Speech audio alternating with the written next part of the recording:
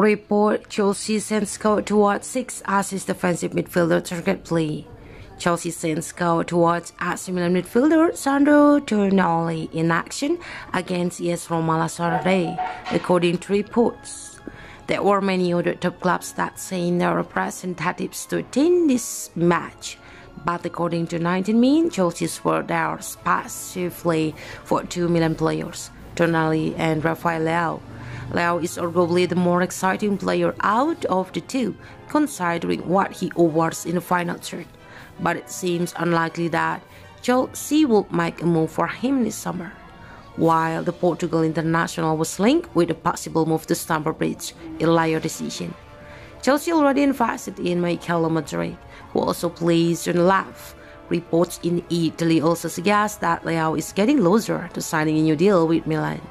On the other hand, Tonali could be the defensive midfielder chosen it. The Italian international mostly plays in the double pivot in Stefano Pioli's 4-2 to 3-1.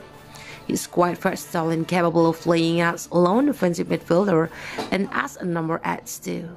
Defensively, Tonali may not be as good as a few older names Chelsea have been linked with in this position such as Ham's Declan Rice and Southampton's Romeo Lavia, but he offers a lot more offensively than many on this list.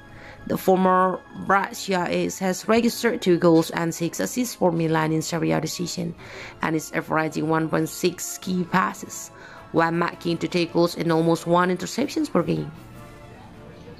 People tend to associate Italian players in this position with the regista role, and while Tonali often plays this role, he is stronger and faster than, let's say, Jorginho. That said, his decision making in aerial duels is still relatively poor.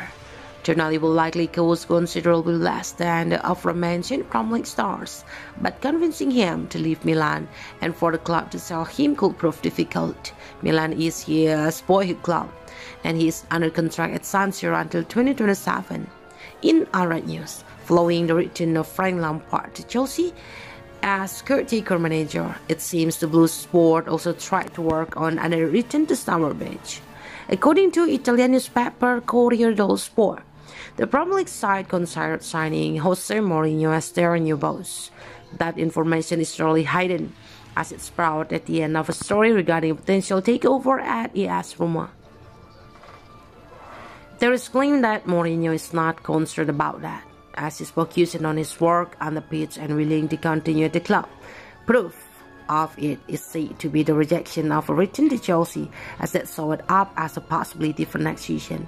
Corriere Sport writes that the Chelsea chief called Mourinho to meet him and include him in their list. Along with the likes of Mauricio Pochettino and Julian Nagelsmann, the Portuguese boss, however, reportedly want to speak to Roma's owners and will only then consider his future, and doesn't seem that desperate for return to the Stamford Bridge right now.